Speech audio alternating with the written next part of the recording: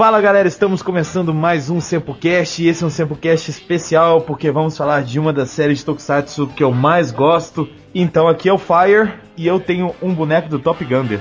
Fala galera, aqui é o Mozeid e eu odeio com todas as forças do universo VR Troopers. É isso aí, aqui é o Ricardo voltando ao Sempocast e eu tenho um boneco do Metalder. Oi pessoal, mais uma vez aqui é o Alexandre e a armadura do Metalder é feia pra cacete. Muito bem, eu não preciso dizer que o nosso tema de hoje será Metalder. E vamos descobrir por que, que essa série é tão famosa, por que, que tem gente que adora e por que, que tem gente que odeia. Eu adoro. Uhul!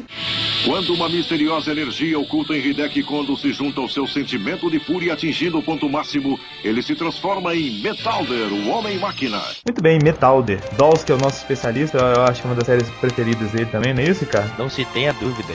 E aí, como assim Metalder? De onde surgiu? Metalder, ele foi inspirado em um rascunho do primeiro Metal Hero, que seria Kikaider. Metalder foi totalmente inspirado dele, o design, Kikaider também é um homem-robô, né? Inclusive, o pessoal fala assim, ah, porque parece que faz uma referenciazinha ou outra a Kikaider, eu acho que não, acho que é uma homenagem mesmo, não é isso? É, não, realmente é uma homenagem. Então quem quiser realmente comparar os dois, dá uma olhada aí nas fotos, procura Kikaider e, e compara com Metalder. Inclusive o Hakaider também me lembra muito o Top Gunner, ou não, eu tô enganado. É, não, lembra bastante. Você vê como é que realmente teve umas influências muito fortes é, de tentar realmente relembrar esse seriado antigo Kikaider. É verdade. Bom, Vamos falar então da história mesmo do Metalder? É o seguinte, Metalder, que foi o sexto Metal Hero, ele surpreendeu primeiramente pela temática, que é uma temática bem mais adulta do que as outras, né? E o enredo básico é o seguinte: eles estavam em meio à Segunda Guerra Mundial e tinha um doutor lá que sabia muito sobre robótica e ele desenvolveu um Koga. isso, Dr. Koga. E ele desenvolveu um androide, né, chamado Metalder, e era baseado no filho dele, é isso? O corpo é do filho dele, a aparência, pelo que eu entendi, parece que a pele, a carcaça é o filho dele. O filho Hum. dele morreu na guerra, ele pegou o filho dele, tirou os órgãos, né? Deve ter colocado um, um outro, uma espécie de, de casca por baixo da pele e lá fez o, o robô. Pelo que eu entendi foi isso, né? É, mas é, é isso mesmo. Na verdade, não fica muito claro se é realmente o corpo, o corpo mesmo do filho, porque no primeiro episódio o Dr. Koga vai no túmulo do filho visitar ele antes de ressuscitar o Metalder lá na caverna dele. Mas Se ele acho- mo- moldou um, um androide nos moldes do filho, né? é mais ou menos por aí. Eu acredito que seja mais ou menos por aí. Isso é uma coisa assim a se discutir e a pensar, porque pode ter feito também um, um velório com o caixão todo lacrado. É, é, pode. mas não, justifica, pode, mas não é justificável ele visitar o túmulo do filho dele. Passa a ser uma coisa simbólica, né? É. Só uma, uma memória do filho mesmo. Bom, enfim, aí em 87, o Koga, o Dr. Koga, ele descobre que tem o, o Império Neros, né? E quando ele tá prestes a morrer, ele volta lá na caverna, como o Ricardo disse, e ativa o Metalder. Essa caverna é uma espécie de um centro, de um laboratório, não é isso? Onde o Me- Metalder foi criado? O que, que acontece? O Metalder foi criado no meio da Segunda Guerra Mundial no Japão. Exato. Então, aquele laboratório ali era um laboratório secreto onde eles desenvolviam a tecnologia da robótica. Inclusive, o Neros, ele era companheiro do Dr. Koga, né? Uhum. E ele participou do projeto, tanto que ele também era um senhor. O Império Neros ele foi feito também totalmente feito pelo Neros mesmo, partindo das próprias mãos dele através de experimentos desse grande conhecimento sobre robótica. O que aconteceu foi que o Dr. Koga ele queria usar o robô pro mal, porque Metalder foi feito para ganhar a Segunda Guerra Mundial. Entendi. Então, eles, como eles descobriram isso, eles tiraram o Neros do projeto e o projeto acabou que foi terminando sem ele. Tanto que no segundo episódio ele fala que ele participou um pouquinho do projeto, mas ele não estava totalmente a par porque ele foi tirado do projeto. Algo a ressaltar, porque eu acho que o Império Neros são os melhores vilões que já apareceram em qualquer tokusatsu até hoje, porque eles não querem apenas chegar, vou dominar o mundo, o mundo é meu, só isso. Não, ele quer causar fome, quer fazer todo mundo comprar petróleo dele, ele quer dominar o mundo mesmo, dominar, mas não dominar de chegar, o que, que eu vou fazer agora? Já matei todo mundo, não tem mais vilão, ah, vou para outro planeta dominar os planetas. Não, Ah, ele quer escravizar todo mundo. É, A ideia do Neros, na verdade, era. É, ele não quer matar ninguém, essa aqui é a grande realidade. Ele quer ser o controlador do mundo através da riqueza. Então ele é, ele quer poder e grana, né? é, exatamente. É diferente do, dos outros que querem escravizar. Ele não quer escravizar os, os seres humanos. Ele quer é ser o grande cara da parada, entendeu? Entendi.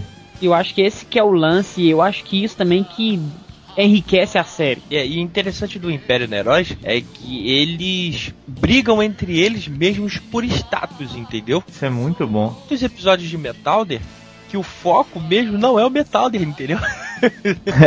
O foco é as brigas do Império para poder chegar lá, né? Crescer. Cada luta que você que o cara ganhava lá, dependendo do grau de dificuldade da luta, ele ganhava um cargo novo, ia subindo Exato. de cargo até chegar lá em cima. Então, quer dizer, isso era bem, bem legal de se ver no seriado. Bom, antes da gente entrar em si na série, já entramos até, né? Vamos só falar uns dados técnicos aqui. O Metal dele foi exibido no Japão em 87, né? Começou em 87 e terminou em 88. Foram 39 capítulos e no Brasil passou na década de 90, no comecinho, pela Bandeirantes. Eu não me lembro de ter assistido Metal pela Eu assisti.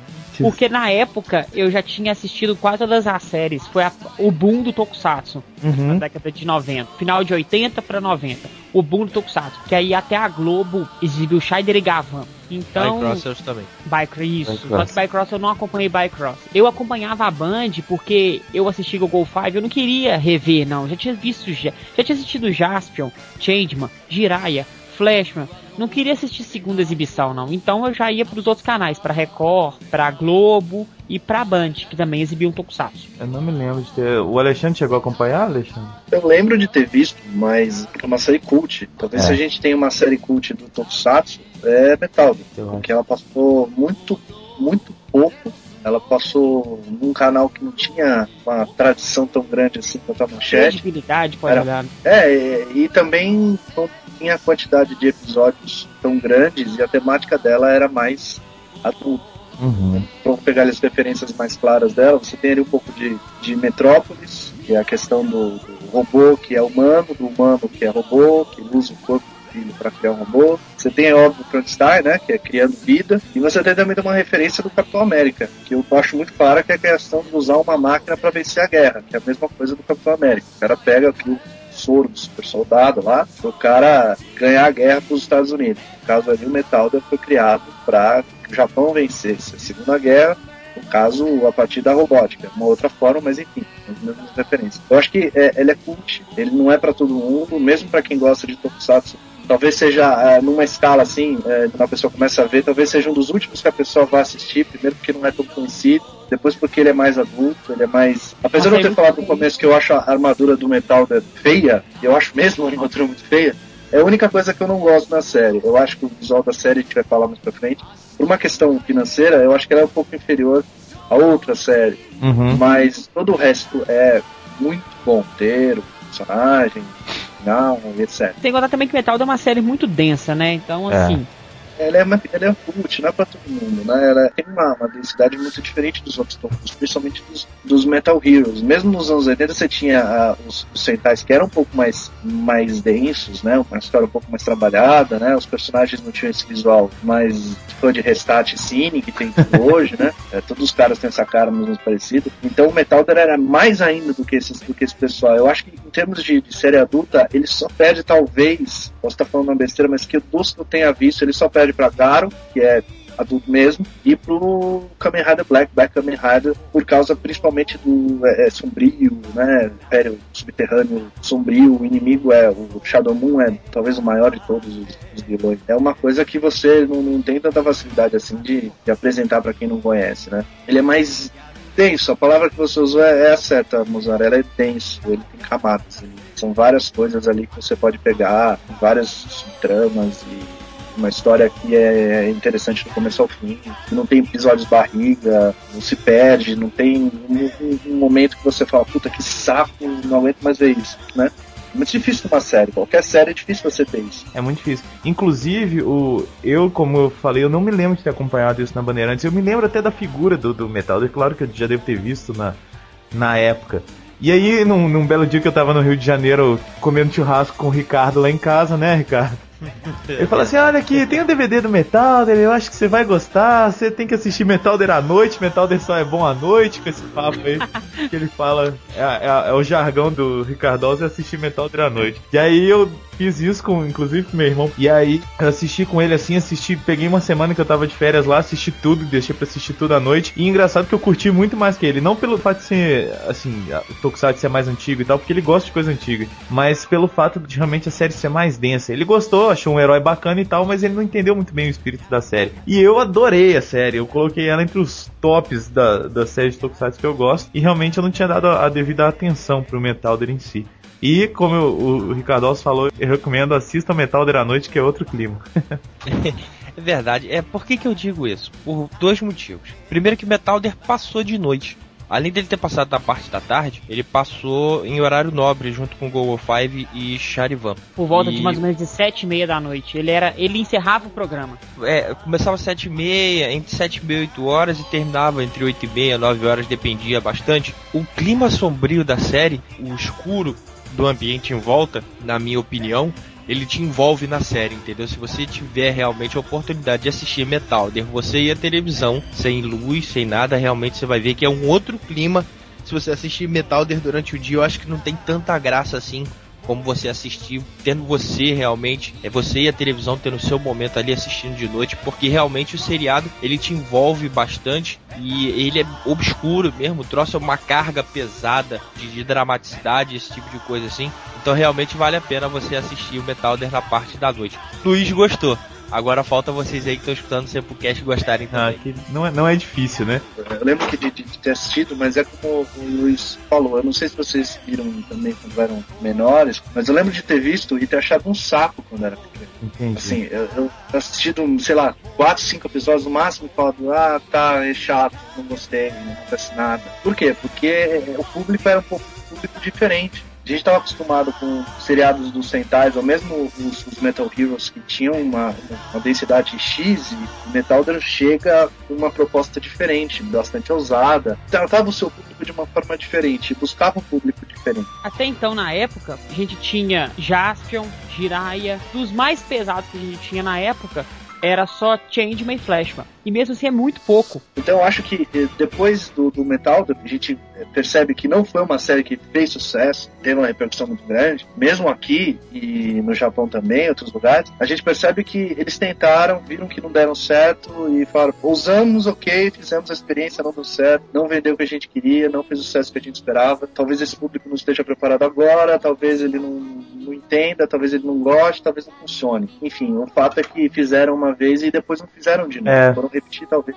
anos depois. Acho talvez porque não tenha agradado tantas crianças, né? É, eles tentaram ir para um lado diferente, uhum. né? Eles tentaram pegar um outro público. Quando você muda o seu target, é difícil às vezes você acertar no alvo. Às vezes você não consegue de primeiro. Eu acho, por exemplo, o Metalder, se fosse feito hoje, as crianças hoje em dia aceitariam o Metalder muito mais ah, fácil sim. do que aceitariam, por exemplo, Jasper, pela temática. Hoje em dia as crianças é, é, elas crescem, elas estão crescendo muito mais rápido, tem uma facilidade com esse tipo de, de temática um pouco mais sombria. Eu acho que hoje funcionaria melhor para um público até mais jovem do que funcionou pra gente, por exemplo, quando a gente era pequeno. Uhum. Quando uma misteriosa energia oculta em Hideki Kondo se junta ao seu sentimento de fúria atingindo o ponto máximo, ele se transforma em Metalder, o Homem-Máquina. Tem uma, uma série que eu lembro muito mais do que Metalder, infelizmente, que vocês devem lembrar também VR Troopers. Ah, o assassinato, né? Nossa, e é que eu odiava, não sei porque, eu acho que eu já tava. Tipo assim, eu vi. Quando eu vi a primeira vez, eu tava pequeno. Então eu não associei direito que era o Metalder. Eu vi o VR Troopers assim, olha, eu conheço esses personagens. Aí depois eu falei, são Spilvan.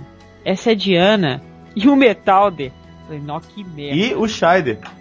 na época você não devia ter falado que era o Spilvan, você devia falar que era o Jasper 2. É, Jasper né? 2. é. Só depois, né? Porque na época ninguém não, sabia depois. que era o, o Spilvan, né? Vendiam como Jasper 2. Eu tinha o estojo do Jasper 2. Bom enganação da história do Toku.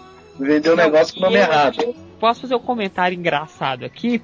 Que eu até mais ou menos, vamos ver aqui. É, até cinco anos atrás, eu jurava de pé junto que o Spilvan era o Jasper 2 mesmo. Sabe por Nossa. quê? Porque no final do, do Jaspion, o Jaspion tem um bebê. E ele fala: vou chamar ele de Tarzan da galáxia. E na sequência vem um cara novinho, bonitinho. É o Spill. Falei, ah, é o filho do Jasper. Nossa. Mas, mas não dá pra você fazer essa ligação? Pensa junto comigo, gente. Não dá. Na verdade, não, moça. Exatamente.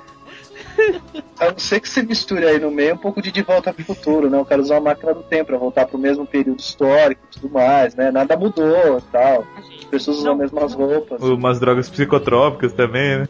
É, é. Eu acho, eu, acho que tem a ver, sim, se pensar bem, se colocar muita fantasia na parada. Tá. tá ótimo. Vamos então. Ah, mas a, Ah, diga, a Tal. Caitlyn era bonita. A Caitlyn era. Ela, não, ela era bonita, Ela- claro. A loura de Troopers era maravilhosa. Não, cara, e eu gostava da série na época, lógico, era herói, pô. Tá- Já tava ótimo. Ah, aquela coisa engraçada, né? Porque a atriz tinham, né, curvas avantajadas, né? Aí quando ela colocava armadura, sumia tudo. Sumiu. Era um milagre. Milagre da armadura. né? Mas engraçado que naquela época que passava a VR Troopers, eu já imaginava que seria uma adaptação. Eu me lembro muito bem disso, que a primeira vez que passou, eu olhei assim e falei, ué, é Metalder e Spilva. Na hora eu já consegui é, identificar, só que os artistas não são japoneses, né? É. Falei, ué, tem alguma coisa estranha nisso aí. Naquela época, eu realmente, eu particularmente, eu já tinha percebido isso. Não tinha percebido com Power Rangers, porque na final de contas, o, o Zeo Ranger não passou no Brasil. Mas que era uma clara referência que você conseguia saber. Quem tinha assistido realmente aquela época do Tokusatsu, você conseguia ver que era uma adaptação. Isso é notório, e claro. Ah, não. Você podia ver que nas escolas o- os jovens conversavam. Nossa, você viu Power Rangers? Nossa, é uma cópia descarada de É. Todo É. mundo fazia esse comentário. se você conhecesse os personagens, né? Mesmo no VR Trooper, mesmo se você não desligasse ah, aquele cara, aquele lá, o, o metal dele e tal, você sabia que, poxa, eles copiaram a estética, um formato que não é deles, Exato. né? Eles fizeram uma adaptação, uma homenagem, um afim, que não é deles. Então, Não, você não é sacar- não. É, personagem. Eu acho assim, cara, eu acho que eles tentaram criar uma coisa, deu, deu certo, porque você tem Power Rangers ad infinito, eu nem sei quantos anos, quantas séries diferentes tem de Power Rangers. Agora, o que eu acho que é uma cagada deles, que aí que é uma questão muito de americano, que é uma coisa que é tradicional deles de quadrinho e afim, é que assim, eles pegam uma série X, que é, por exemplo, sei lá, fala o nome de uma aí qualquer de, de Power Rangers, sei lá, Dino é, Trovão. Dino Trovão. Em vez de colocar a série como alguma coisa Dino Trovão, eles colocam Power Rangers Dino Trovão. Por quê? Porque o que você tem que ligar com aquele Dino Trovão é o Power Rangers, mas não tem nada a ver com Power. São outros caras, outros personagens, outra mitologia, outros inimigos, não tem nada a ver. Mas por quê? Porque eles têm que ligar a marca. Que é o tipo de coisa que eles não souberam trabalhar como o japonês trabalha. Porque todo ano muda a série, todo ano você tem gente lá vendo. Todo ano você tem gente lá vendo. Você pode reclamar que é pro infantil, não é infantil. Isso é, é- é o jeito que eles fazem. O público tá sempre ali. E eles não se ligam. Se fosse, por exemplo, Changeman 18, o subtítulo. Não, eles não iam gostar daquilo. Eles iam perceber na hora, poxa, mas peraí, isso não é Changeman. Isso é outra coisa, não tem nada a ver. Que é o tipo de coisa que o americano faz. Eles fazem isso em quadrinho. O personagem muda de nome, não sei o quê mas a revista continua lá com o mesmo nome. Os personagens podem ser completamente diferentes, não tem nada a ver uma coisa com a outra, mas tá lá, você tem que vender a marca, a marca tem que manter. E o Troopers eles fizeram exatamente a mesma coisa. Eles pegaram a- duas marcas, juntaram e falaram, vamos fazer um produto novo. Só que Troopers não deu certo. É. Tenho certeza que se tivesse dado certo, nossa, eles iam comprar todos os outros, iam misturar e fazer outras coisas. Ainda bem que não deu certo, né? É verdade. Senão a gente ia ter umas Eu- saladas muito esquisitas aí. Mas você sabe que é uma coisa ruim também, porque a partir do momento que eles compraram os direitos desses personagens, você não pode lançar essas coisas no ocidente. Então, por exemplo, por mais que a produtora chegue lá com caminhão de dinheiro e, e fale, eu quero lançar Spielberg no Brasil porque eu acho que vai vender. O cara vai dizer, tá bom, mas tem que falar com os caras lá, já, americanos que compraram os direitos. Aí você vai lá, os caras não vão querer vender. Mesma coisa todos os outros Sentais, os Sentais mais novos. Eu acho, por exemplo, se você pegasse uma série de Sentai mais moderna e colocasse uma programação infantil hoje, eu acho que faria sucesso. Eu acho que funcionaria. Por exemplo, é, pega essas séries novas aí, aquela que o, que Luiz adora, que é aquela coisa Harry Potter, coisa bonita pra caramba. Mais de rende. Então, aquilo, também aquilo ia hein? funcionar pra caramba. Tem um apelo muito legal. Mas assim, por que, que não pode lançar? Porque alguém já comprou antes, já distribuiu, já transformou em Power Rangers e tá vendendo. É. Metalder é uma dessas séries, cara. Eles compraram lá e, pô, eu não sei se um dia eu vou poder comprar um DVD do Metalder oficial aqui, que é uma coisa que eu gostaria de comprar. Eu acho uma sacanagem isso. Muito grande. Quando uma misteriosa energia oculta em Hideki Kondo se junta ao seu sentimento de fúria atingindo o ponto máximo, ele se transforma em Metalder, o Homem-Máquina. Muito bem, vamos então entrar de fato na série Metalder. Bom, vamos falar um pouco do universo ali dos amigos e, e de quem acompanhava o Metalder. A gente teve o doutor o Koga, né? Que ele, ele só apareceu no primeiro episódio, assim, apareceu mesmo. Claro que teve uns flashes e tal. Ele é morto, né? Pelo Neros, não é isso? Isso, ele é morto pelo Neróis. Ele descobriu a existência do Império Neróis. Ele estava morando na América. Depois ele descobriu a existência do Império Neróis e, sabendo disso, ele veio ao Japão para ressuscitar o Metalda. E quando o Neróis tomou conhecimento disso, ele mandou matar o cara porque ele sabia que realmente vinha uma pedreira brava aí contra o Império dele. Por isso matou o Dr. Koga. Mas o Koga não deixou o Metalder na mão, né? Ele. Nossa, essa frase ficou ótima. Mas ele. porque olha só o que, que eu vou anunciar. Não deixou o Metalder na mão porque ele deixou um cachorro pro Metalder olha que beleza. Mas... o cachorro é o melhor amigo do homem. É. É, o Springer. Springer. É, o engraçado é o seguinte, é, o Springer, ele não foi ressuscitado junto com o Metalder. Ele, ele já tava lá. Já tava lá. Só que o Springer também é um robô. Aí eu te pergunto, parece que foram 40 anos desde a criação do Metalder até a ressurreição dele, né? É, quem fazia manutenção naquele bendito daquele cachorro? Duracell, cara. Duracell é. Duracell e óleo Singer. Que isso, ele era Total Flex. Total Flex. Talvez ele mesmo fazia manutenção nele. É, é um super robô, né? Algo interessante tem que citar é que o cão que tem em VR Troopers, eles colocam chiclete na boca dele. Ah, pra falar. Pra mostrar Nossa. que ele tá falando. Ah, não. Cara, fala essas coisas. O Springer, ele fala, né, na série, e isso foi uma das coisas que atraiu meu irmão. Meu irmão gosta muito de bicho, e criança, né, e aí ele achou o máximo o cachorro falar, só que ele ficava meio sem entender por que, que o cachorro falava. E eu expliquei é, pra ele, não, é um robô. Robôzão, né? É. É legal também porque ele meio que protege a, a base e quando o Metalder dá defeito, né, precisa para manutenção, para mecânica, é o, o Springer que faz os reparos. É, vamos dizer assim que o Springer seria é uma espécie de mentor da parada do Metalder, entendeu? Só que acho que não desenrolou isso direito, então ele apareceu assim mais sendo um, um componente de apoio mesmo. E outra coisa que é interessante falar é que um cachorro falante e as pessoas que viam o cachorro falar não estavam nem aí, não achavam é, estranho, não, tá ligado? Legal, tá passando esse cachorro aqui com esse, esse laço biônico e ele fala.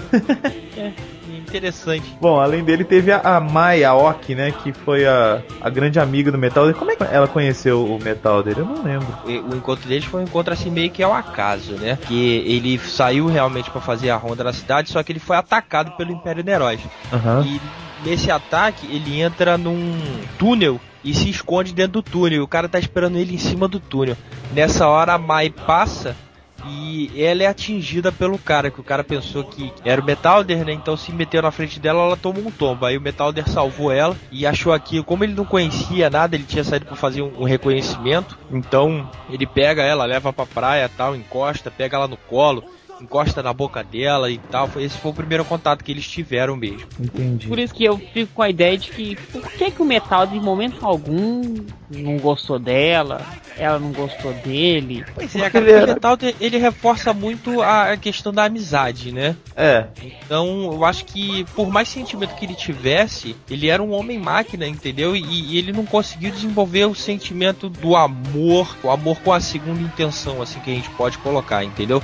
Ele era mais aquele amor assim de proteção, da amizade. É, exatamente. E a Mai ajudou muito ele nessa questão de, desse conhecimento, do autoconhecimento dele do mundo, né? Esse tipo de coisa assim. Então ela se tornou muito amiga dele. Foi mais ou menos por aí. O Metalder, quando ele, ele sai pro mundo, né? Pra, pra cidade, pra terra e começa a passear, ele acha tudo muito bonito. Ele acha a natureza muito bonita. As montanhas, as árvores, as flores, o mar. E ela é fotógrafa. Então acho que tem uma relação nisso aí. Porque o fotógrafo também percebe a beleza dessas coisas, né? Então é uma coisa que reforça a amizade dos dois. Eu achei isso muito bem trabalhado na série. É, o engraçado é que eu acho que na série não fica muito explícito isso não, mas Metalder foi ativado pela primeira vez na década de 80, uhum. entendeu? Parece que eles fizeram Metalder para a Segunda Guerra, só que Metalder não chegou aí para a Segunda Guerra. A funcionar na Segunda Guerra. Né? É, então ele não tinha noção nenhuma do que era o mundo, entendeu? Aquele Isso. tipo de coisa assim, não é, não é aquela coisa de você de repente ter, como ele era um homem máquina,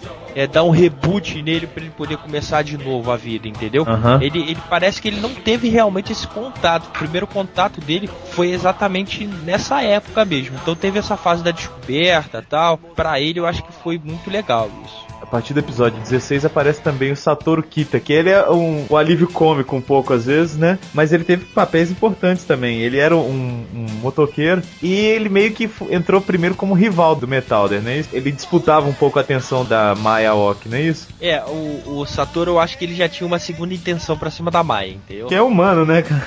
É, pois é, eu acho que ele já tinha uma segunda intenção. Tanto que o, a primeira reação dele é uma reação de ciúme, entendeu? Então quando a Maya chega e fala, não, esse é meu amigo, Hideki e tal e quando ele começa a conhecer o Hideki, ele vê que as coisas não são bem por aí. Eu acho que, que esse trio, para o reforço da amizade com esse trio, ficou muito interessante. Só reforçando aqui do, do ele ajuda o Metal de muitas horas no, no decorrer da série. E a Mai também. Os dois, em momento nenhum, a série é toda, toda moderna, assim, em relação a roteiro. Em momento nenhum, os dois se transformam em nada. Eles são dois seres humanos. Então valoriza também o, o poder de cada um poder mudar, sabe? Não precisa ser uma pessoa especial para poder ajudar e tal. Eu acho que tem uma mensagem por trás que é, que é legal. E o Satoru quis ser um Metalder, né? Tanto que Isso. tem alguns episódios que ele fala, eu sou o Metalder!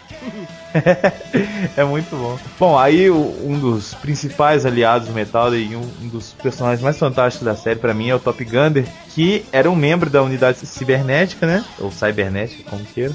Que no começo enfrenta o Metalder e acaba tornando dos melhores amigos do, do Metalder, não é isso, ô Dolls? É, o Top Gunner, o personagem do Top Gunner pra mim é o personagem assim mais Pode botar os pi aí, da parada, entendeu? Porque ele é um atirador de elite, é, ele era o maior atirador do Império Neroz. Isso. Ele conseguiu atingir o Metalder, mas só que ele perde na luta final mesmo, ele acaba perdendo, ele toma uma facada no ombro, isso faz com que ele perca a luta e, e ele tem o orgulho ferido. Só é. que ele não concordava muito com o que o, o imperador tinha passado para ele, é que ele gostava muito de agir sozinho. Nessa missão ele teve que ir com outro cara da tropa Monster e o cara atrapalhou muito ele e tal. E ele não concordou muito com isso. Depois ele vem, ele perde a luta e parece que foi a primeira vez que ele perdeu uma luta de verdade. Foi a primeira vez que ele foi atingido foi nessa luta com o Metalder. Então ele sai do Império Heróis e fala: Ó, Metalder, eu vou me recuperar e depois a gente vai se enfrentar de novo, entendeu? Porque eu perdi, mas eu não quero ficar perdendo, não.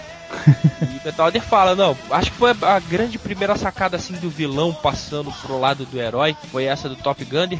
E o Top Gunner vem depois para ajudar Metal. Ele só vira é, aliado mesmo do Metalder, se eu não me engano, na terceira aparição dele. Porque na segunda ele volta, é, se eu não me engano, assim, quase uma covardia. E como ele era contra a covardia, ele ajudou o Metalder, mas quando ele começa Isso. a realmente ajudar o Metalder é só a partir da terceira aparição dele. E mesmo com essas aparições que ele ajuda o Metalder, a princípio, mesmo ajudando, ele fica um pouco mais distante, assim. É, de repente o Metalder tá, tá com algum problema, ele aparece lá, dá um tiro no monstro e some, né? Mais pra frente, só que ele realmente começa a interagir mais e ficar realmente ao lado do, do Metalder. Ele passou pro lado do Metalder realmente, foi depois que o Metalder salvou ele da morte, né? Porque como ele tinha sido um traidor, a lei do Império Neróis era matar o traidor. Então eles perseguiram o Top Gunner, quando eles conseguiram quase pegar o Top Gunner, o Metalder chegou e salvou ele. Foi a partir dali que o, o Top Gunner fez aliança com o Metalder e começou a ajudar ele.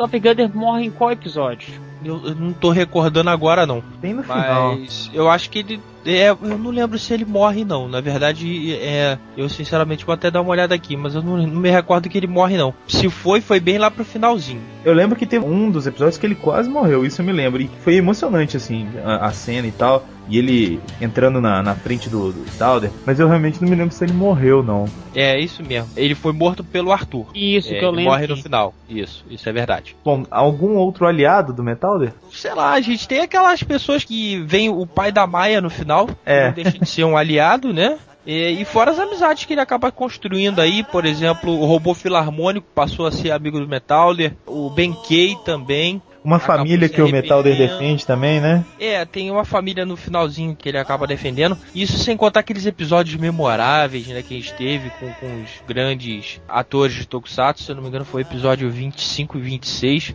Ah, Aqueles verdade. também foram amigos dele se eram amigos do Saturno que acabaram se tornando amigos do Metalder. Enfim, é, teve, teve bastante gente.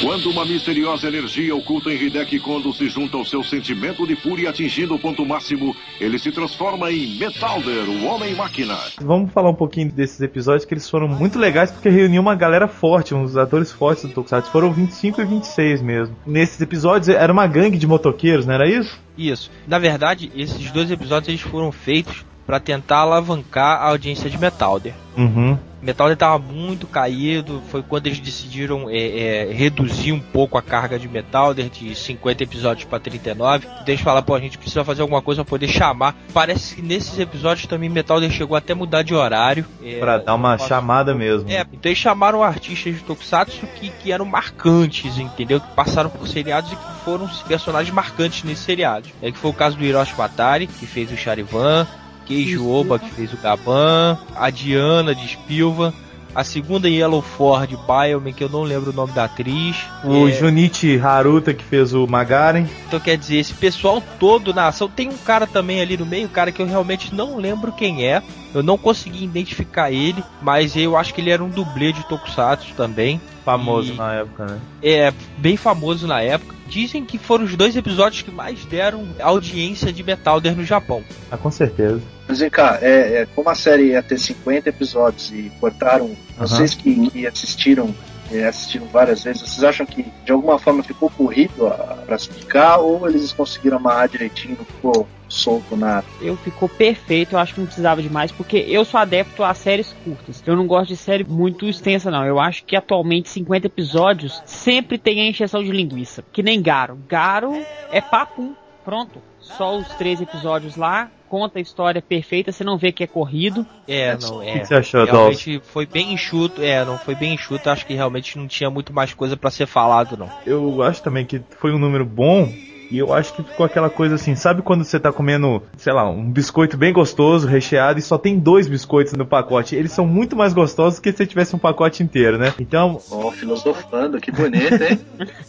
eu acho que. Não, porque quando você come, você chega no meio do pacote ele começa a ficar meio. É, exatamente. Então eu acho que quando tem pouco, assim, a gente acha, acaba achando muito melhor. E ficou aquele gostinho de quero mais, só que é o gostinho desses dois biscoitinhos, que se tivesse mais ia ficar enjoativo foi na, na medida certa, realmente. Filosofei agora, né? Mereço palmas.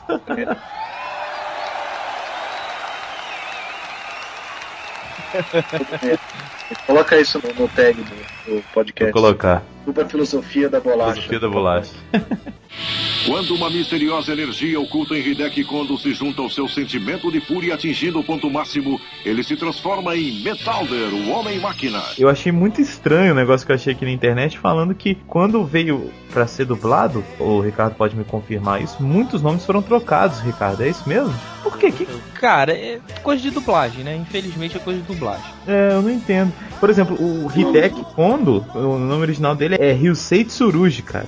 É, pois é, não tem nada a ver. Talvez porque o cara do, do Changeman também chamava de Suruji, de repente alguém provou o mesmo nome, né? Ah. É, não, eu acho que não, cara, porque foram emissoras diferentes, entendeu? Foram distribuidoras diferentes, então não teria porquê é a mesma coisa do Isamu Minami, né? Que é Kotaro Minami. Kotaro Minami, é esse comentário que eu ia fazer agora, que a gente comentou isso no Samplecast 6 de Kamen Rider Black e RX. Por que cargas d'água mudar um nome japonês pra outro japonês? É.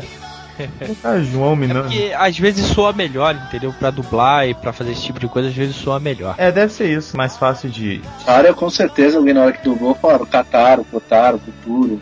É. Por exemplo, a, o punho titânico, né? Que no original é laser arm, né? O cara vai falar laser arm. Pô, criança não entende, entendeu? Entendi. Tem que ser uma coisa mais voltada pra criança mesmo. É. Só pra fazer um comentário aqui que eu sei que é totalmente fora da pauta. Vocês já assistiram Gavano já? Já. É. O golpe que o Gavan solta o raio dele é, chama raio espectrônico mesmo. Nossa. Você diz em japonês? Não, na dublagem. Eu, é espectrônico? Eu não lembro. Rapaz, não lembro. Porque ele procura então, porque ele fala raio espectrônico. Eu queria saber se era espectrônico mesmo ou se eu tava escutando demais. Cara, eu não duvido não, porque a dublagem de Gabon, nossa senhora.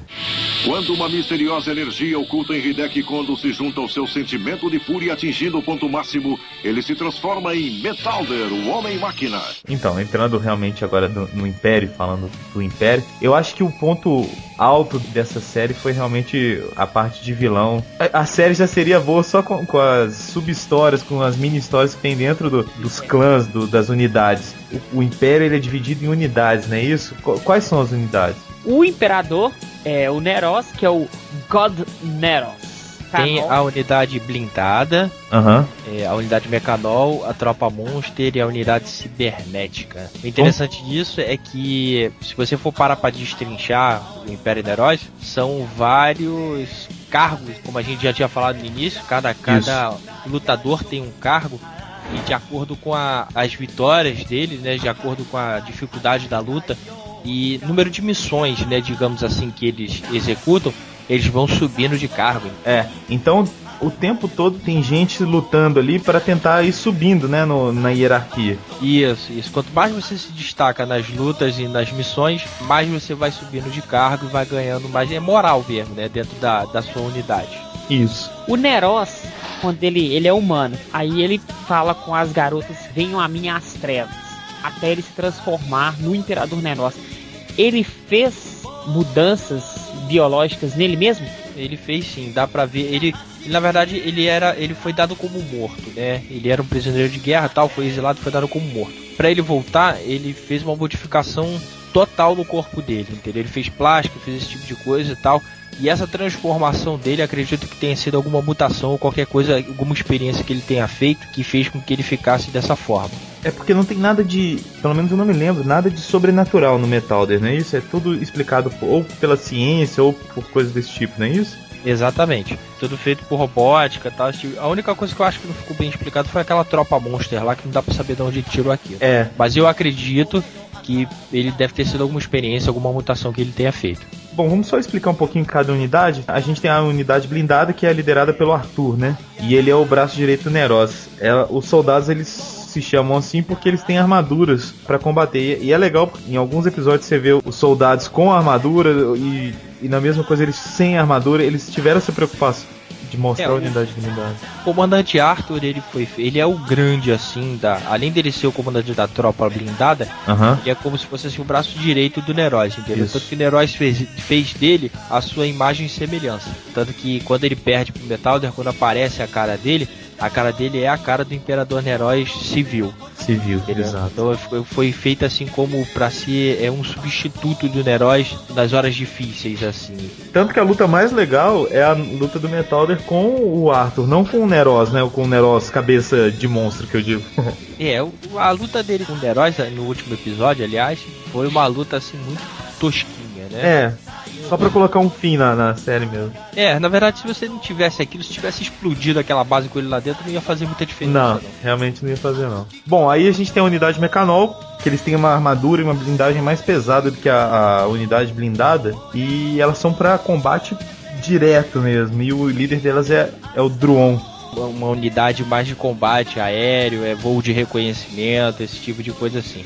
Exato. Era que é para atacar navio no mar, essas coisas assim. Qual que era a unidade que tinha o helicóptero, o cara que tinha as hélices? Era a é, Mecanol. Era na, é na, na Mecanol. Entendi. É, é, o, é o Striker, uma coisa assim. É Striker, é isso mesmo. É, é isso mesmo. Que no original é Strobe. E tem a tropa Monster, que é liderada pelo Davius ou Davius, como é que fala? É, comandante Darvius. Darvius. É a tropa mais suja do Império. pra poder ganhar as lutas, eles não mediam consequências, não, entendeu? Eles faziam as coisas mais bizarras. Eles são criaturas que foram feitas a partir da engenharia genética, né? Pois é, foi aquilo que a gente estava comentando no início. Provavelmente da engenharia genética que criou esses monstros aí, que sinceramente não tem de outro, outra explicação para dar onde eles vieram, não. E finalmente a cibernética, que são os androides mesmo de combate. E o líder é o Balzac. Balzac. Isso. Essa, essa unidade, ao meu modo de ver, ela era mais uma unidade de caça, entendeu? Uhum. Que ia atrás do, dos fugitivos, esse tipo de coisa assim. É, como a gente falou, tem alguns episódios que o, Metalder fica até de lado, né? Porque mostra a disputa das tropas e eles são muito. Esses episódios são muito legais. São tão legais quanto os episódios que o Metalder é principal. Eu acho ponto Véi, alto. Tem um episódio que é típico disso: a Olimpíada do Colosso. Aham. Uhum que é quando o Neroz decide fazer uma Olimpíada entre todas as tropas dele. É muito engraçado o episódio porque são, são tarefas mesmo de, de competição. Tipo Olimpíadas do Faustão, assim, né? É, é, mais ou menos, é por aí mesmo. Tem um deles que ganha uma missão de trazer o Metalder e o vencedor, a tropa vencedora dessa Olimpíada, seria responsável por. O troféu dele seria tentar matar Metalder na frente de todo. É, é legal demais. A, a diferença das Olimpíadas do Faustão é que lá você podia dar tiro nos oponentes, amarrar com é, corrente. Nessa hora que você vê que a tropa monster é nojenta. Eles uhum. fazem de tudo para ganhar as paradas. Altas armadilhas é, traiçoeiras, covardes. É, tipo, vicarista, entendeu? Com o Mutley. Isso. Ah, esse seu altas armadilhas pareceu anúncio da sessão da tarde. Altas armadilhas e confusões da pesada. Uma é, com uma galerinha monstruosa. com vocês na sessão da tarde. É bem isso. Agora eu tenho que citar aqui o, o monstro que eu acho muito retardado, que é o Rhapsody. Por quê? Que é, que é o violonista. Nossa, velho, ele é muito tosco. É, o robô filarmônico. Ele, ele ajuda uma criancinha que entra por engano na base do Neroz a sair de é. lá. Ele ajuda o Metal a tirar a criancinha de lá. Ah, nós esquecemos também de citar as duas gatinhas, né? Que na verdade é uma só que é gatinha. A outra né, não é secretárias K e S, é. né? Uma é gatinha, de cabelo grande é, de cabelo curto é meio feinha.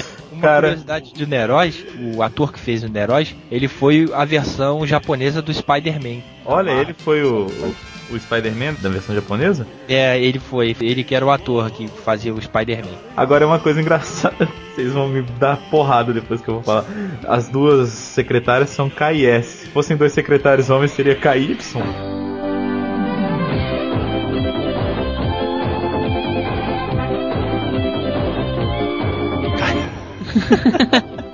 ai, ai.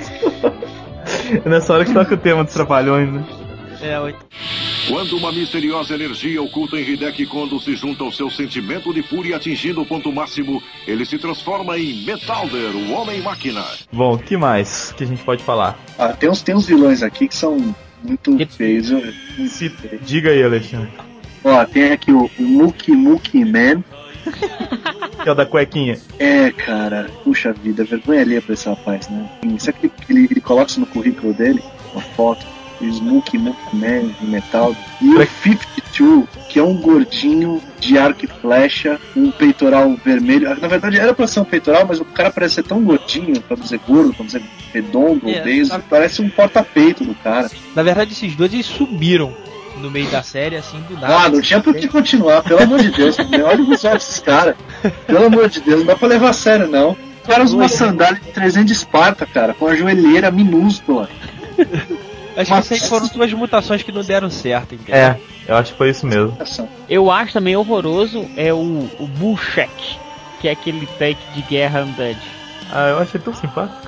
Ó, tem uma que, é, que era muito legal, é, assim, de luta mesmo. Eu não sei se vocês lembram que era o ex-Alfa Ramon, que virou depois um robô de reparo. Ah, ele é muito legal. E ele morre pra Metalder como, como um verdadeiro herói, entendeu? Porque ele era um herói de guerra, aí resolveu se retirar e passou a ser um robô de reparo, né? Ele, os robôs chegavam lá e ele que consertava. Aí um deles, um dos caras lá se lembrou dele, chamou ele lá, ele não queria lutar por causa do braço dele, né? Que o braço uhum. dele era muito perigoso, matava as pessoas e tal. E o Neroz botou ele para lutar com o Metalder, né? E o Metalder acabou é, que matou ele, né? É. De uma forma até bem heróica mesmo. E ele morreu como um herói. E o, o cara que era.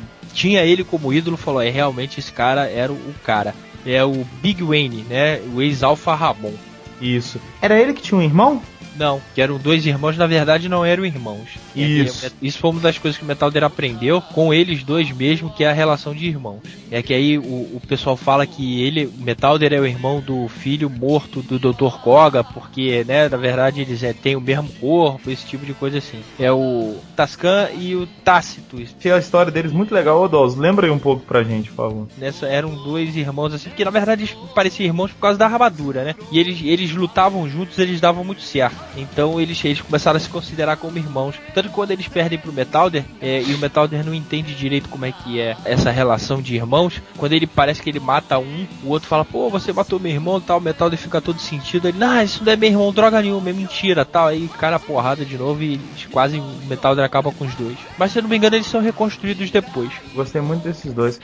Quando uma misteriosa energia oculta em Hideki Kondo se junta ao seu sentimento de fúria atingindo o ponto máximo, ele se transforma em Metalder, o Homem-Máquina.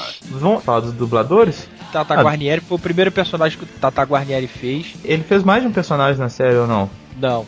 Não, foi só ele. Mas foi o Elcio Sodré. O Elcio Sodré fez um monte. Foi. Fez o Omega Ben K, Gama Alabama. É, foi o Alabama, ele foi o Alpha Cartago. O interessante dos dubladores, quer dizer, interessante não, eu acho que foi um erro assim. Muitos episódios você não repetiu os dubladores, entendeu? Por exemplo, é. Meta Douglas, ele teve o Elcio Sodré e Gilberto Baroli. O Baroli, os dois. Cartago teve o Eudes Carvalho, o Elcio Sodré e o Carlos Alberto Amaral. O Benkei teve o Carlos Alberto Amaral, o Ricardo Pettini, o Flávio, o Luiz Antônio Lubo. Então quer dizer, tinha, tinha uma rotatividade aí de dubladores. De fixo, fixo mesmo, só os personagens principais. Os secundários uhum. eles trocavam bastante de dublador. É, é uma coisa meio, meio que comum na, nas séries, sejam elas Toku, séries live action, em qualquer lugar, mesmo é, os, os, animados, eles mudavam muito de dublador.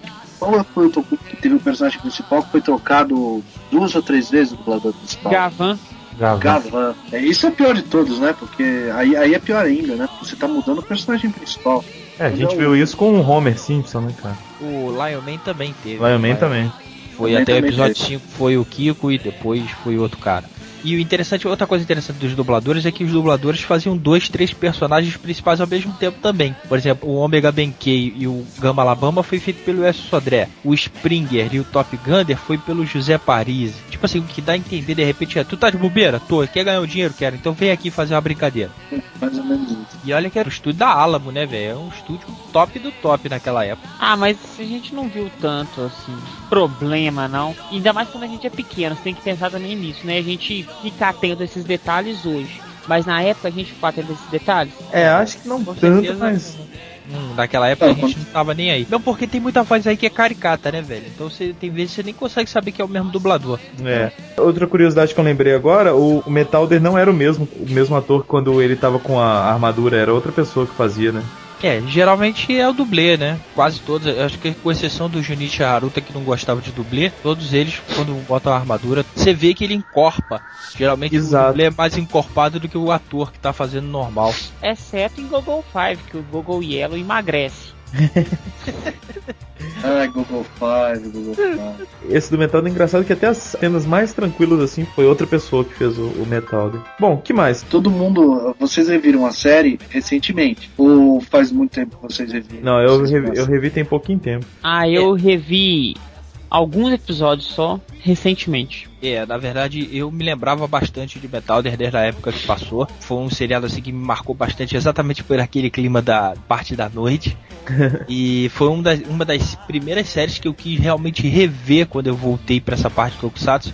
Eu perguntei porque assim, é, quando a gente assiste quando é menor, depois tenta assistir de novo, e eu fiz o teste alguns, alguns, alguns eu consigo, continuei gostando e comecei a fazer aquela coisa que a gente sempre faz. Por exemplo, poxa vida, se alguém pegasse isso e desse uma produção que roteiro e esses personagens uhum. mereciam, cara, como isso ia ser sensacional. Porque a gente sabe das limitações, né? Não sei. É.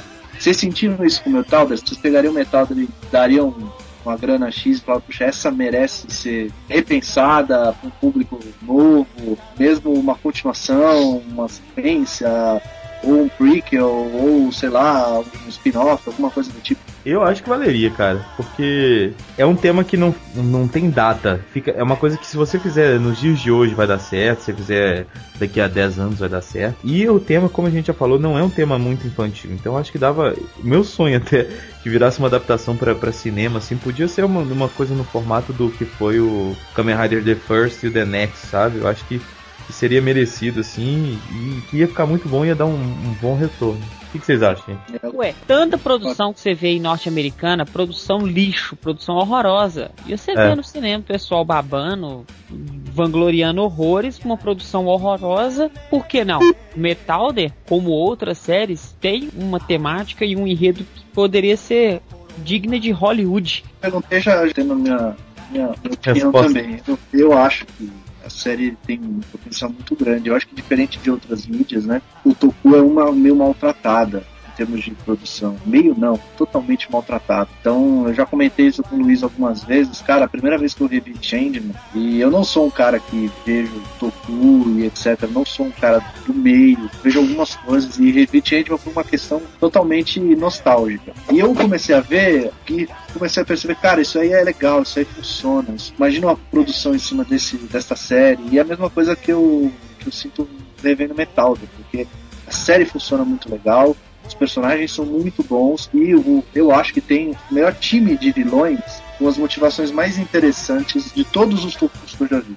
De todos. Porque, como o Ricardo falou, eles não querem dominar o mundo e tchau, acabou, vamos pro próximo. Não, eles querem um domínio mais inteligente, né? Eles querem uma coisa, dominar o teu consumo, o teu gosto, o que você quer comprar, transformar em escravo, é uma coisa muito mais inteligente, muito mais, muito mais gostosa de você assistir. Eu acho que funcionaria muito bem mesmo como uma adaptação para cinema, de repente, né, não fizeram os Kamen Riders, de repente, por que não uma, uma versão de metal da, da tela grande, uma compilação dos episódios ou uma outra, outra leitura, algo do tipo assim, pudesse funcionar hoje, eu acho que uma das poucas séries que, que passam pelo teste do tempo. Algumas a gente gosta, mais pelo valor sentimental que a gente tem. Metal era uma que passa com louvor. É, é, fora a influência do capitalismo, né, velho? Quando a gente falou da, daquela coisa de dominar o mundo mais inteligentemente, te vê aí que é, a força do capitalismo, como é que o, o japonês já viu o capitalismo como é, uma coisa forte que, que iria dominar realmente o mundo, esse tipo de coisa, é a visão do japonês, né? É inteligente, é, é uma forma diferente de você lidar com uma ameaça, né? Você traz o público é, para ver uma ameaça muito mais palpável para né? Porque tudo bem, você se envolve com uma história fantasiosa, ok, você se envolve. Se é bem escrito, você se envolve. Mas é muito mais interessante quando você tem um tema mais assim. Eles querem escravizar as pessoas, eles querem que as pessoas comam na mão deles. Você se identifica muito mais fácil.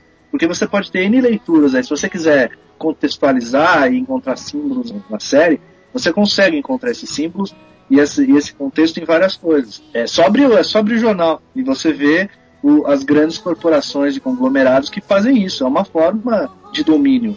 Né? Uma forma, hoje em dia, por exemplo, se você for ver, os conglomerados americanos de comunicação são três ou quatro, e todos eles são donos. Japão é dona da Sony da América, que é dona de uma porrada de coisas, incluindo uhum. estúdios de TV, produtores de cinema etc. Ou seja, um grupo, um grupo que domina um, uma faixa gigantesca de mercado, que é a mesma coisa que eles queriam fazer, eles queriam dominar o mercado. Então isso faz a série ser adulta, porque ela foge do, do estereótipo do vilão malvado que chega, domina e cai fora. Acabou, é, né? É... é, eu acho que Betalder realmente, se ele tivesse sido desde o início é considerado um tokusatsu adulto no Japão, porque ele foi feito para criança, né? Se ele tivesse sido considerado assim como Garo foi, é que foi um foco específico, mesmo passando de madrugada, ele teve aquele foco específico e ele fez sucesso. Eu acho que Betalder teria sido no Japão muito mais bem visto aos olhos do público do que ele foi naquela época. É, eu não sei. Hoje, hoje em dia você tem lá um, um, revival dessa série, por exemplo. Você teve, você tem fãs dessa série que, que valorizam isso. Virou um cult lá ou só um cult aqui? Na verdade, lá, como se foi um remake do Kikaider, o pessoal naquela época associou muito mais. Eu não sei como é que tá lá hoje em dia. Hoje, é, não, é, não é que Metalder seja um cult entre a gente, mas eu acho que toda a série de Tokusatsu acabou se tornando um cult para nós fãs, porque não passa mais na televisão. A gente não teve aquela renovação de fãs. Então ela, ela passou a ser uma coisa assim, muito mais o gênero Tokusatsu passou a ser um cult do que propriamente uma série específica, entendeu? Eu concordo. É, pela aquela coisa que eu falei dessa banda e ter comprado tudo, eu acho que mesmo a produtora que quiser fazer um negócio desse não consegue. Eu não sei como é que funciona isso exatamente. Eu não sei se existe alguma brecha, alguma coisa que pode ser feita. Mas é, eu acho que não pode, porque se não me engano a Saban tem o direito dos Gokus que eles compram em todo Agora o, é a Disney.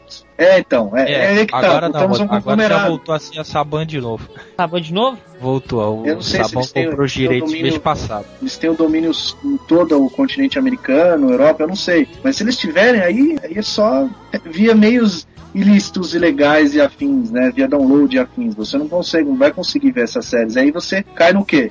Você cai hoje numa molecadinha que tá acostumada a ver Ben 10 e outras séries e não consegue se ligar nesse tipo de, de, série que a gente assistia quando a gente era menor. Agora, uma molecadinha hoje, eu acho muito difícil ela gostar, por exemplo, pegar um, um uma série mais antiga de Toku e curtir, falar, nossa, que legal. Porque ela vai se ligar no visual. Porque a gente, quando era pequeno, o máximo que a gente via era isso, não é? O melhor que a gente via é. tecnicamente era aquilo. Não tinha coisa muito melhor. Na TV. Cinema sim, mas poxa vida, na TV o melhor que a gente via era aquilo. Então, pra gente aquilo era o máximo. Hoje em dia, uma criança vê um Toku mais antigo, ela tem uma dificuldade para aceitar aquilo. Por quê? Porque você não teve a renovação. Porque hoje em dia a criança consegue se ligar mais na briga da, da pedreira, não consegue mais se ligar no monstro gigante que pisoteia o mesmo cenário, no vilão que, que grita não te perdoo, sabe? É que é coisas que pra gente funcionam, pra gente no, no Leão de Pelúcia, sabe?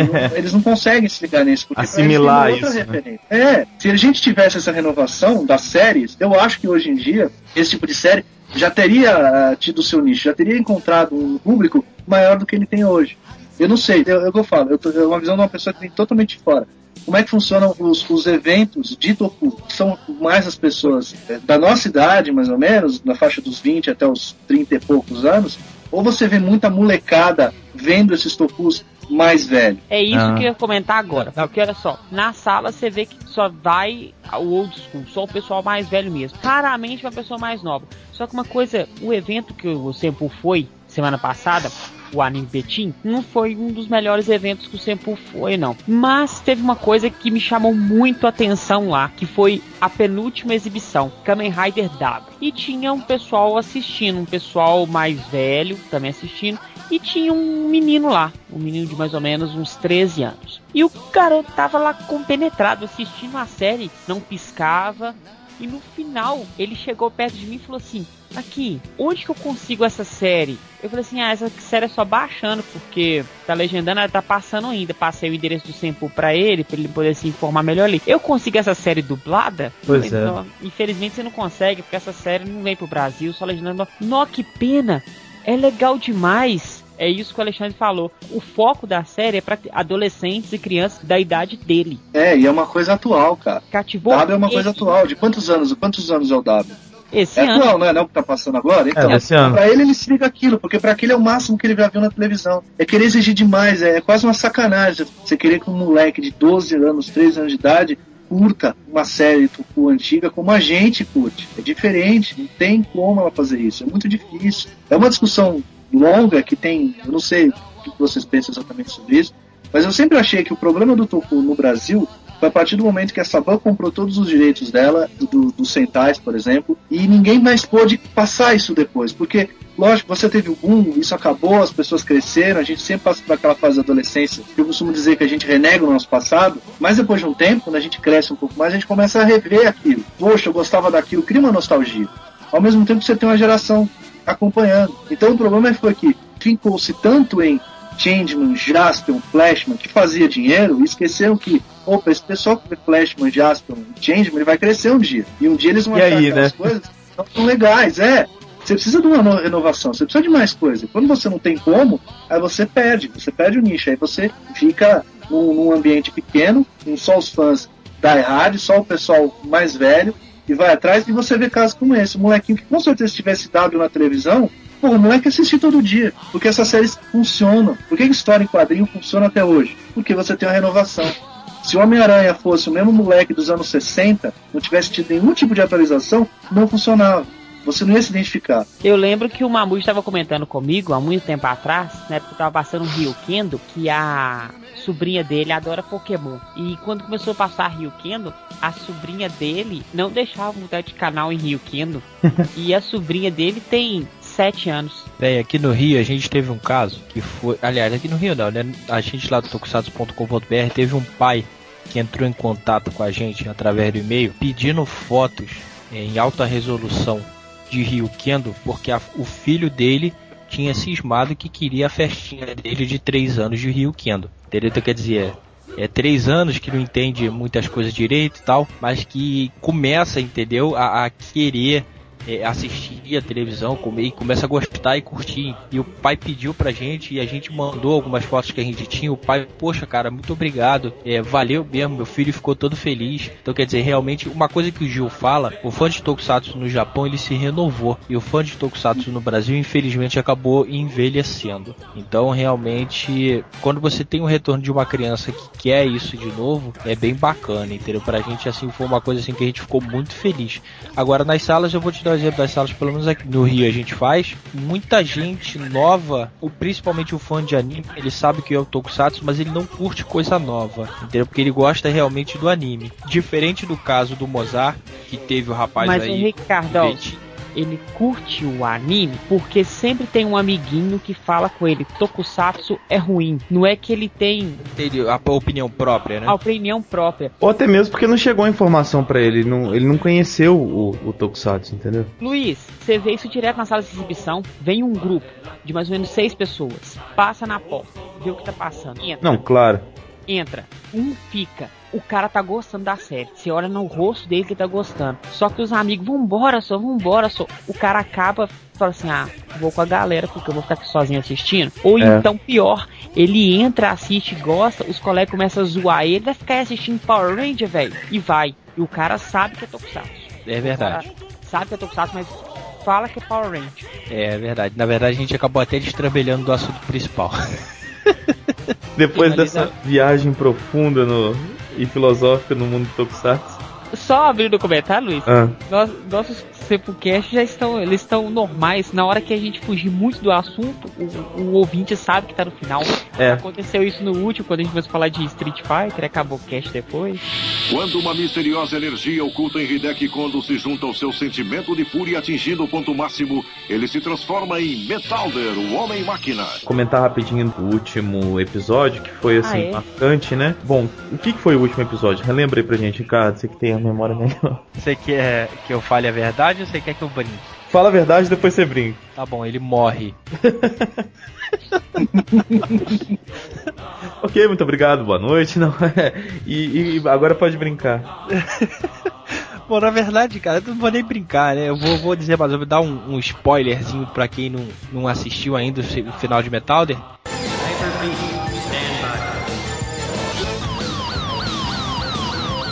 Mas eu acho que o final de Metalder veio realmente para coroar o que realmente foi a série, uma coisa dramática e que teve o seu final dramático com a morte do herói, que na última luta que ele tem contra o Neroz, o Neroz consegue atingir um dos sistemas deles mais importantes e que se ele não desse um jeito de destruir todo o sistema dele, ele deixasse de ser uma máquina que tivesse uma capacidade de se transformar em ser humano, aquele dispositivo dele, que se eu não me engano foi o dispositivo antigravitacional, uhum. ele explodiria a Terra inteira. E quem mata ele, é, a pedido dele mesmo, é o melhor amigo dele, que é o Satoru.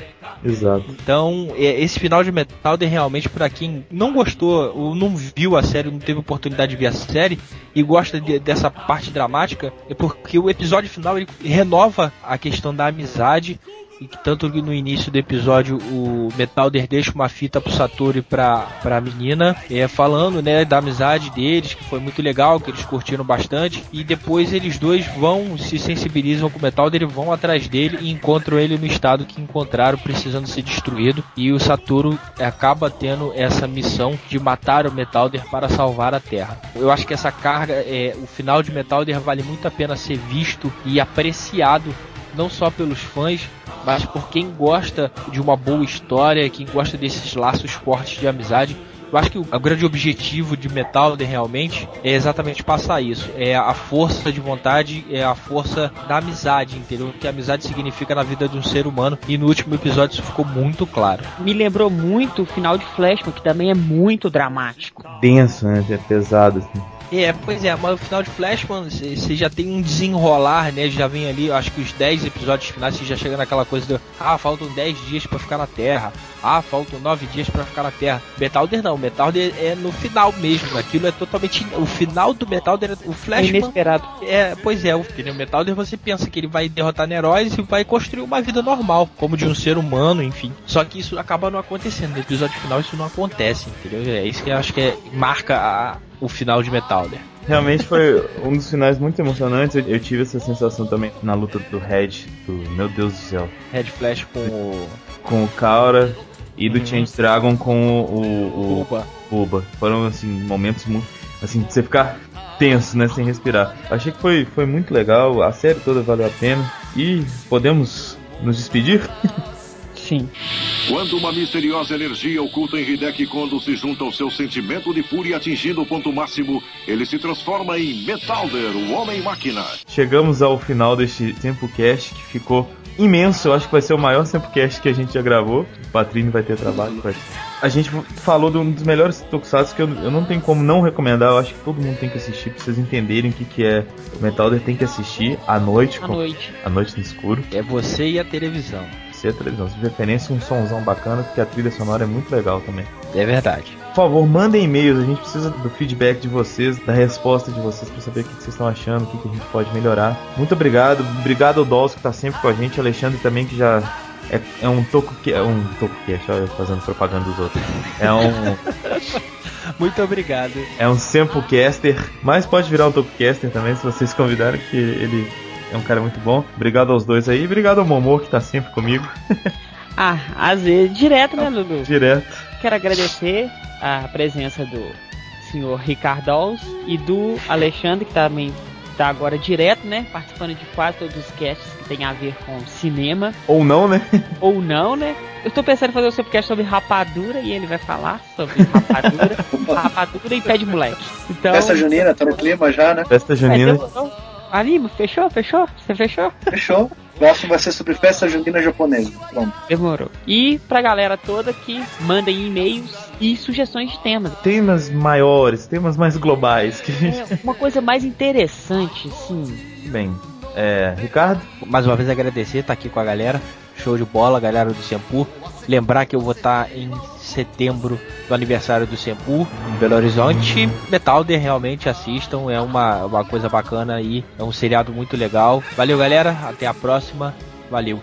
Valeu. Alexandre? Então, só mais uma vez, né? Tô ficando carne de vaca aqui. Já não preciso nem, daqui a pouco não nem mais me apresentar, nem agradecer minha presença. É. Só cobrar de vocês. Porque, né? Dá licença, todo dia. Mas enfim, Bom, Metalder é uma série muito boa mesmo, vale a pena quem ainda não, não viu. E a gente vai se ver aí nos próximos 98 Centrocasts seguidos, né? Gravados um, um depois do outro, né? Todo dia, né, moça? Isso, a gente vai gravar outro, depois mais gente, um. A gente tá, tá com o projeto de gravar um Centrocast por dia e lançar eles Exato. todos de uma vez no dia 25 de dezembro. Exato, um box, né? Isso. Bota pra vender no submarino. R$29,90. Então, boa ideia. No preço. Promoção. E pra mocinha também. Tá bom, chega, né? Valeu, tchau. Tchau.